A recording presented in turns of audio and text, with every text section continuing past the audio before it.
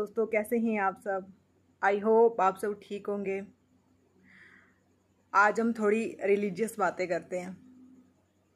Life में जब भी कोई टेंशन होती है मतलब अपनी बात बताती हूँ मैं, कोई भी प्रॉब्लम आती है, कोई भी टेंशन आती है तो बस मंदिर चले जाओ, भगवान के आगे बैठ जाओ, उनको सब बता देना है। मतलब उनसे बात करनी है। ऐसे आलतू फालतू आप बात करोगे तो कुछ नहीं होने वाला। उनसे बात करनी है कि आज का दिन ऐसा रहा मेरा। ये प्रॉब्लम आई तो सब कुछ आपके हवाले है, आप देखना। इधर बात करोगे, उधर करोगे, लोग मौजू लेते हैं सिर्फ़।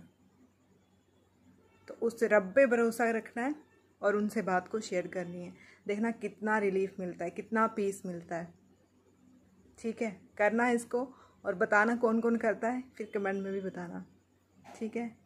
बहुत पीस बहुत शांति मिलती है सुकून मिलता है। जय हिंद जय भारत।